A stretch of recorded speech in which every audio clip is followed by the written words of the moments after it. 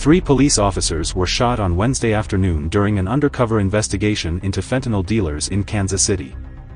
All three officers suffered serious but non-life-threatening injuries. Three or four suspects were also wounded and are in stable condition, Kansas City, Kansas Police Chief Karl Oakman said. An undercover team of officers had purchased fentanyl from the suspects a few days ago and were trying to make another purchase on Wednesday around 3 p.m.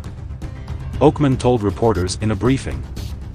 We responded today to try to buy additional fentanyl pills, at which time the deal didn't go through, at that point, we were going to execute an arrest.